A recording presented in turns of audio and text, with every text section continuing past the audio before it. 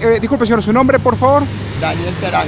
Señor Daniel, para que nos comente un poco acerca de, de la prórroga, su, aspecto, su opinión acerca de la prórroga del billete. Es tercera prórroga que tiene el presidente de la República con el billete de 100. Usted como comerciante de acá de Petar Informal, ¿cómo está viendo la situación? Mire, esta solución la estoy viendo muy apretada. ¿Por qué? Porque este billete, este billete a 100, él lo mandó a recoger. Que pa- para, para salir él come las monedas y el billete nuevo.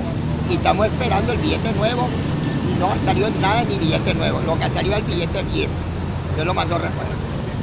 Entonces uno lo que estamos esperando que salga el billete nuevo para ya uno eliminar esto, porque esto es una burla. Una burla para el pueblo y una burla para, para el país. Es tercera vez que hace prórroga el presidente. Ve que es una medida improvisada. ¿Cómo lo está viendo? No, tercera vez, tercera vez que lo hace.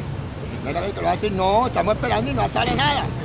No sale estamos trabajando con este billete viejo, que es el billete ¿Y cómo, la está pasando de igual con ese billete? La gente tiene poco, las ventas cómo están, están más bajas, ¿cómo está viendo? No, la, la- la venta está bajadísima.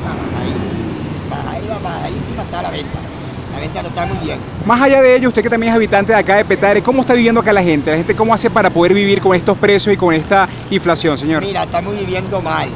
Porque un kilo de yuca, usted lo va a comprar, los bachaqueros, un kilo de yuca te vale 1.500 bolívares, hasta 1.000 bolívares. ¿Me entiendes? Uno va a las panaderías, el presidente dijo que el, el pan, el pan, el pan como campesino valía 180 bolívares.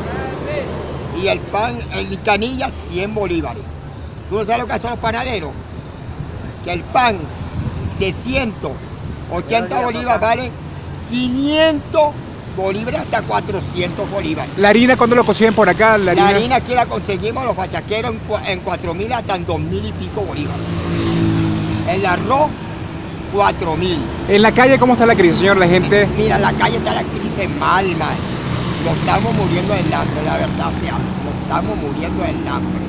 ¿Entiendes? Porque no se consigue, se consigue comida, pero demasiado cara, ¿eh? Demasiado cara.